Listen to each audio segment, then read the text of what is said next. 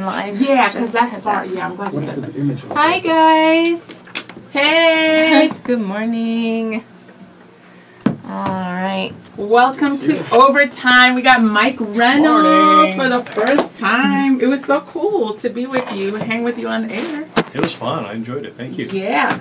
So make sure, make sure, as always, that you share us so that you can spread the word. Make sure you like us and love and like right over here. Love and like because that helps with the Facebook algorithms and all that. It helps. well, Um, and invite your friends too. yeah. I mean, we're family here. Hello. so- Yeah, so we're gonna the topic we're going to discuss today is we're gonna go back to what should we invest in? Should we invest in experiences or things? And the article that we shared this morning was saying that science actually says that what adds and enriches you in terms of your happiness and joy is more experiences than things. I loved what Mike highlighted that it all depends on the person. Some people's Yeah. gifts, uh, love languages is different. And then we have some comments that was shared on the article from you this morning. And um, I love Angela Paterni. I'm so sorry about the passing of your son, but I loved your comment. She says, After my son passed away, my two girls were making photo boards for the wake. I walked in, and as they were going through the photos of faraway trips to Colorado, Italy, and closer ones to Cedar Point and Niagara, and they said, Mom, we did a lot of cool things growing up. Thank you. Uh, Experiences are memory makers, absolutely. It's true. Yeah. Do you guys have uh like when you look back to your childhood? What do you remember most? Well, I mean, I grew up in Valparaiso, Indiana, which is northwest Indiana, like right underneath Lake Michigan. One of my best memories is we're 15 minutes from the dunes, which is right on the lake, and my parents would always take us to go on hikes, to just walk. Well, we call it a beach. I know it's not a beach, but it looks like it's just a lake Yeah. but it was always it wasn't some really big extravagant just trip. It was just going and enjoying with each other. And we have so many memories on different trails. And i think even um, now i'm building those memories with friends. Like we just went on a cabin trip to hocking hills and we loved it. Hocking Hills is amazing, and it y'all. was yeah, and it was just like a weekend. But you can build those memories, and that's what counts. It Yeah. doesn't have to be super fancy. yeah. So. What about you? Do you have favorite memories from growing up? That well, you know, I was I was kind of thinking about the, the things versus experience. Yeah. And sometimes when you buy a thing, it comes with an experience or it makes an experience. Yeah. yes. It doesn't necessarily have to be something expensive, but perhaps uh, the motivation behind it. Uh, What I'm thinking of specifically is my first CD player was in a boombox. So Yes. uh, I love music, and I'd been asking for a CD player, and uh, it was a pretty expensive thing back when they first came out. And uh, so my father bought me a, a CD player boombox, which I wasn't expecting, but he bought it because I had had uh, surgery, and he just wanted to show. That that was his love language was Yeah. was gifts. So he wanted to show me that he loved me and appreciated me, and that I'd have something to do while I was recuperating from the surgery. Yeah. So I knew that that thing, while it, it wasn't the, you know terribly expensive, uh, it just was a little bit more expensive than he would have spent normally. Right. And I knew it was because he wanted to give me the experience of having that and my experience knowing that he went above and beyond Right. made that thing an experience. Yeah. Yeah. But uh, you, you, we would take trips, and some of them were fun. You know, if you're going to some place where it was a historical marker and you're 12, that's not something you remember, but it's Yeah, not something yeah. you remember fondly. Yeah. Yeah. But we would take uh, a vacation every once in a while to Florida. We did two of them growing up, and those I remember just as tremendous things. Yeah. I have no idea what I got for my birthday. Yeah. No idea what I got for Christmas, but I remember those trips very, Yeah. very well. Hi Tamar. Hi Jennifer. What's up? You always log in. Make sure to share us. Hi um Mimi and uh, Mike always logs in. So what do you think? Should we invest in experiences or things. Tamar says, experiences have helped me to build character so that when I get things, I know how to properly steward them, if that makes sense. Mm. So what do you think? What do you what what do you think we should invest in experiences or things? I love what you said about things creating memories. A couple of our listeners texted in this morning and said instead of taking a family trip that year or in, in those Yeah. f- 2 years, they built a family pool Right. Mhm. and that created memories for years. Yeah. Well, and I think too, there was one vacation in particular. When you're younger, you don't recognize when your parents are actually trying to save. You just think you're on a Yeah. trip, right? Yeah. yeah. And so we drove all the way to Maine, but for the first part of the trip, we camped. We did Oh. not, we stayed in a tent to save money, which, of course, when you're a kid, you're like, oh, the outdoors, like, yay, we're in a tent. And we had so many memories with just staying in a tent and Right. saving money oh yeah. which I didn't even recognize until I was older that oh, like my parents were trying to save money but still go on vacation, you Yeah. know? Yeah.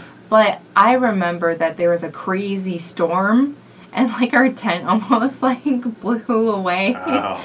But it's those are still great memories, but it didn't cost as much as like staying in a hotel that year, Right. you know. right. You were little thinking of it as fun. Yeah, I was and they like, were well, thinking of it as a saving money. Right? Yeah, which when you're like six or seven, you have no idea that that's Right. why your parents are staying in a tent. Yeah. That is so true.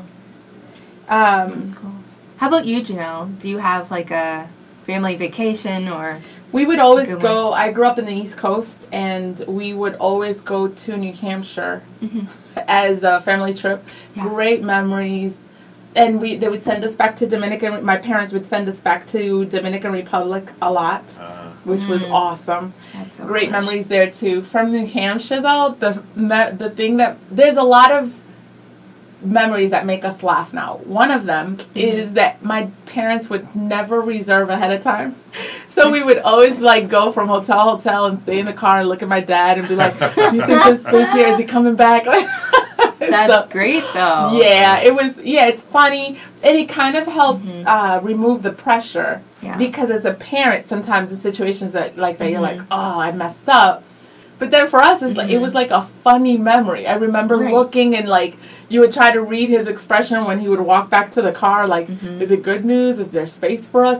there was actually one time that there was no space. There was a motorcycle conference or something. Mhm. So we went three hours all the way to New Hampshire and then had to Mhm. drive back. There was no, obviously, no Google, no internet. Oh no. Mike Gonzalez says, as the saying goes, someone on their deathbed never says, I wish I bought more stuff in my life. Yeah. Instead, they say, I wish I spent more time with those I love and the memories.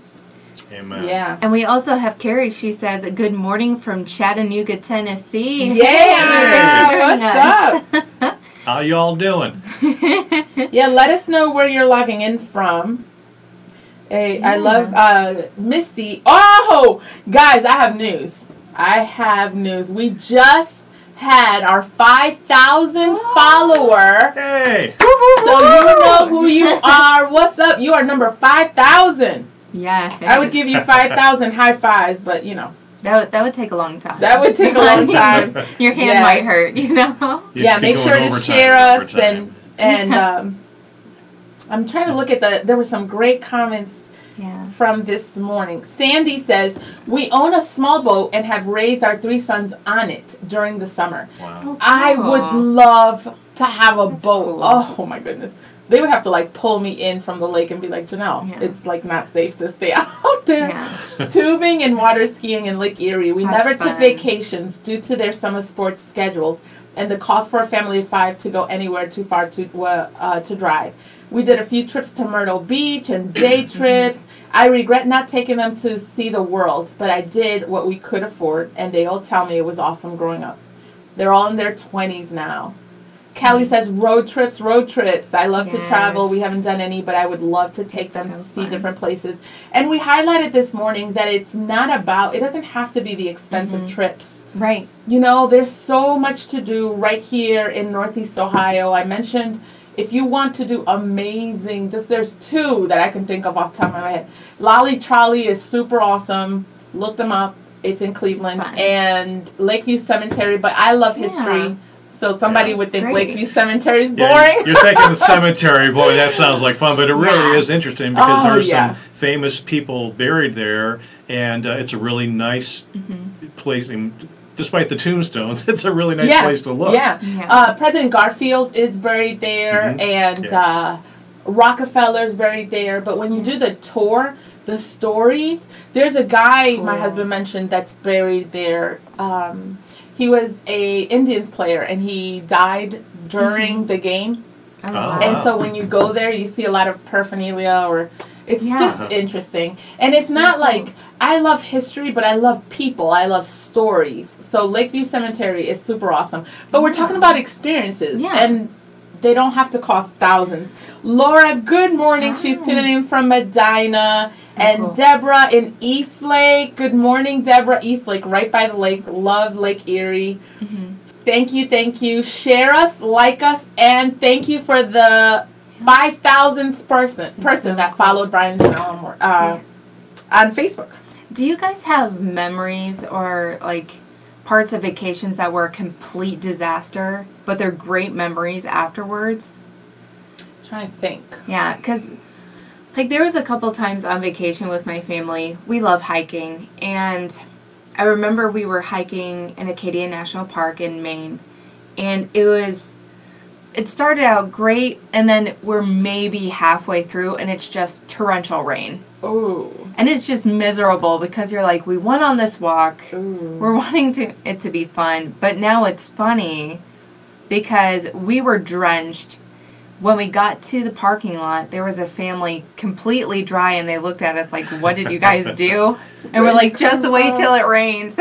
Oh man. But yeah, if you have stories like that, please share it with us. Yeah, because it's true. The Yeah. catastrophic and the negative does turn into It funny memories fun. if you give it time. Yeah. In the moment, they are not fun. yeah, they're not funny. The closest one I can think of is that one where we went to New Hampshire. Mhm. Can you imagine how frustrating that that was? I can't. But now it's like hilarious. Like, oh my goodness, what were we Yeah. thinking? We we didn't even call ahead. Yeah. Did you have a funny story from? No, I, I can't think of anything. I mean, there's there's times where uh, a trip didn't turn out all that great, or there was something that happened that wasn't all that great. But it's not something you necessarily look back on and laugh, or Yeah, yeah. or think hor- horrible things. It was just like this happened, Yeah. and that's Yeah. it. But you do experience in life. God brings situations into your life that, Mm-hmm. if you don't look at it as something that I'm looking forward to looking back at, Oh then yeah. it's Yeah. going to really make life difficult for you. So that's what I say when I'm going through difficult times is I'm looking forward to looking back I on know this. that's right. and I think some memories for me too is like when my dad would take me to coffee. Like Oh. we would go to a local donut shop and we get coffee and a donut like after church. And for me that was a great experience. Oh, and my yeah. dad investing in me. yeah. You know, so it can be cool. as simple as taking one of your kids out to get donuts or It's ice true. cream. And that It becomes so a true. memory. Yeah, my kids have great memories of going uh, bike riding as a family in the metro parks. Oh, Oh, my cool. goodness, there was one, and I know a lot of people locally do this. Um, oh, you'll remember what the name. It's a metro park where you go on your bike, and Mhm. either you can ride all the way like for hours, Yeah. and then jump on the train and ride Yeah. back, or the opposite. We Mhm. did that with the kids. Oh, And that's cool. the thing.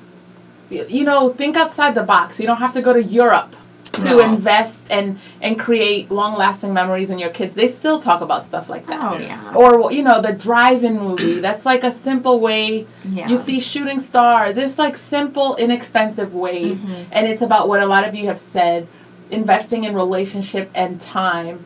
And I love what Mike said. It's not a, it's not either or. Some people, if you want your flat screen or you want the things, that's fine. Right. But making sure that there's a balance. Thank you for tuning in Thanks. for uh, uh, overtime. Brian's no overtime. Make sure to come tomorrow. Yeah, join us. Thanks. All right. I'm ready for